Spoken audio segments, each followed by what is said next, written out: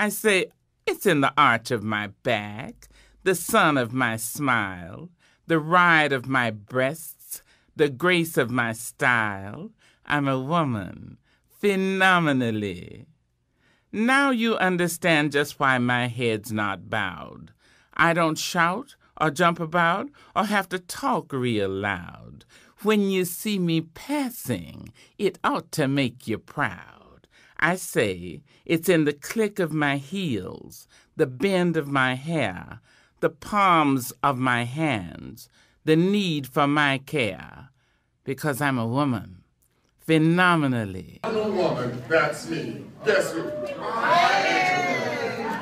A woman is the only thing I'm afraid of that I know will not hurt me. You'll be surprised. I was 16th President Abraham Lincoln. Wow. A woman is the only thing I'm afraid of. I'm going to turn it over to our moderator. Thank you guys for putting up with me. I'm going to be the lone man to sit down. It's all yours. Hey, hey, hey. Um, thank you all for being here. Thank you for inviting me to partake in this wonderful, with this wonderful panel of women. Um, thank you for putting this together so we can come together and talk about this issue. I want to begin by saying that um, I'm going to talk specifically about my experience as a black clergyman, the power and importance of black women in the church, and the lack of leadership in which we find them is still, still a matter of racism and patriarchy that is still a normative in most of our churches today. There are churches where women cannot be ordained still as pastors. But this, I believe, can and must change. There are churches that treat black women in pastoral leadership as the least of the least. And this must and can change. There are progressive churches that think hiring one black woman, mm. or possibly two, in associate positions mm. sets them well and high above the rest. Mm-hmm. And numerically speaking, this may be true. Mm-hmm. But the mindset that black women can only serve as associates mm-hmm. or in secondary or supportive roles is highly problematic. And furthermore, it is not of God. This too can and it must change. And it starts with each and every one of us being God's transformers and change agents in God's blessed name and for God's people, every single one of God's people. That is each and every one of us here and those who are not here. And that is what I want to share with you today.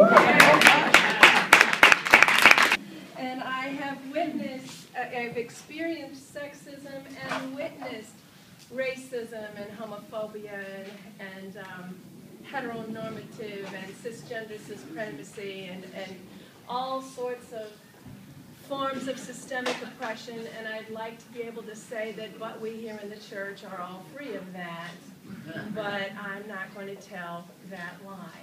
Um, I could, yes, it's obvious that there's racism, sexism, and oppression of LGBT folk in conservative churches, but if you think it's only in the conservative churches, mm-hmm.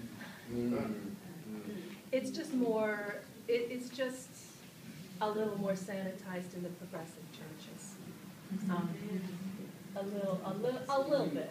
A little, a little, a little bit. It's a little bit more sanitized in the progressive churches, but we still have got um, a tremendous way to go. So I am very grateful for the conversation that we're having today. I'm very grateful to, to Maranatha for putting it together. I hope this will be the beginning of many conversations about how we can get down to the nitty gritty. Reverend Forbes talked this morning about um, the devil's subjunctive and the and and God's you know affirmative indicative of right. So many people I know have received God's indicative and still are struggling against the church's subjunctive. Okay? The church's subjunctive. Well, if you're really called to do this, right? Well, if this is really God's will for your life, and sometimes the last place that you can be affirmed is is um, within the church. But I'll just say that if Maranatha is about anything, as I understand it, it's about love. Yes. Amen? What, isn't that what y'all about? Y'all about love, right? And the Bible tells us the perfect love casts out what? Fear, right? So that's what I would like to celebrate about you. You're here because of love, and by choosing love and by rooting yourselves in love and inviting others to come along with you and root ourselves in love, I believe that we can't cast out the fears that are leading us to be oppressive toward one another and to have the courage to face our own hearts and to dismantle the ways in which we dehumanize one another.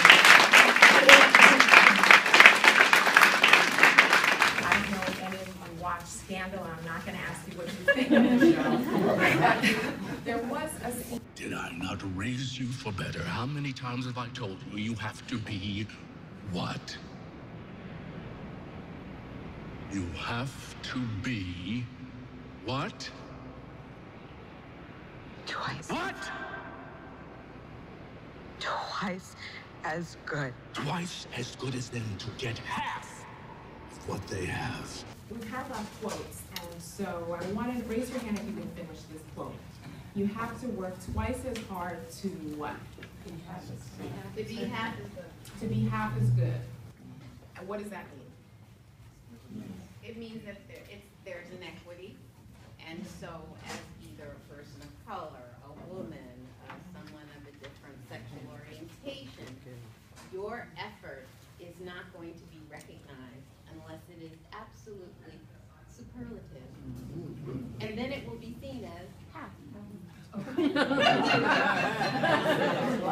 Thank you. So growing up um, in Staten Island, I grew up in an all-white, uh, actually very hostile racial neighborhood. And this was the ethos of, of my family. I had to be twice as good. I had to focus on my academics. My father moved us there because we were going to go to good schools. And the first house that he purchased was burned down. And we still moved to that neighborhood. So it was a very hostile environment. Um, and so I offer that because um, I just think it's an important framework following what I felt I needed to explore and to share with the world. Um, so I want to go back to the, the quote, "You have to be twice as good to get half. And the question that I often ask as a child, and I do now, is half of what? What is the reward for all of this, for moving to Staten Island in the context of my family, for all the sacrifices that were made in the material world? You know, we're trying to enter a system that we did not create, and so how far can we really get, and what, what's the cost? And I don't have an answer for that, it's just a question that I actually ask myself, particularly as a mom, trying to figure out how to raise my son. faced in particular you. So how do you deal with that? Thank you. I'm, I'm so honored to, to be with you this afternoon.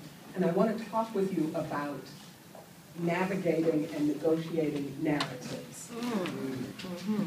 There are so many levels of narratives that all of us deal with, but especially when we are women in ministry.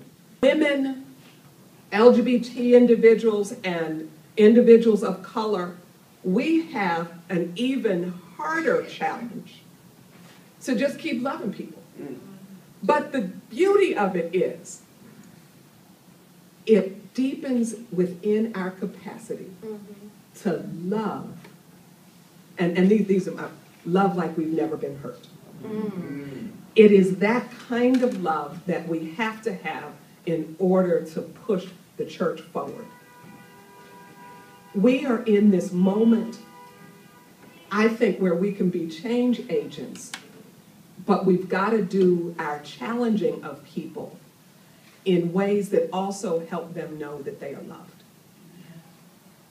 We have the opportunity, and I, I can tell you from, from my own story, I've had to get clear about my narrative about who Cari mm-hmm. Jackson mm-hmm. is not what other people say or think or imagine or fantasize or fear. Mm-hmm. So that as I am, and each of us, navigating these varieties of narratives, that I can be clear about my own story mm-hmm. and be clear to present that story in the context of all of these other narratives. Mm-hmm. And if love did not have the last word,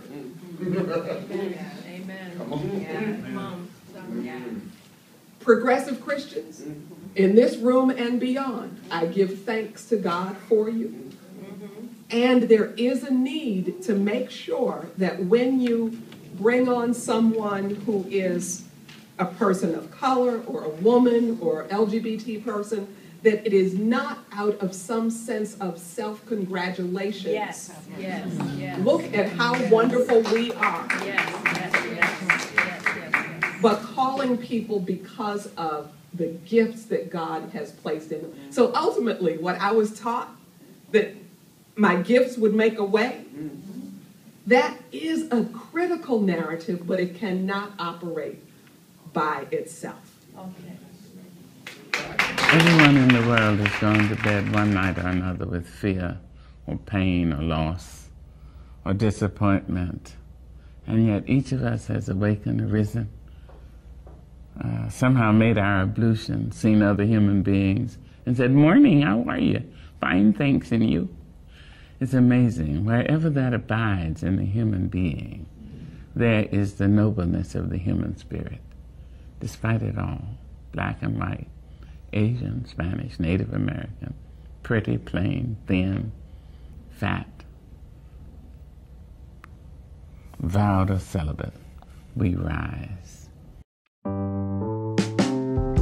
Pretty women wonder where my secret lies. Built to suit a fashion model size. But when I start to tell them, they think I'm telling lies. I say it's in the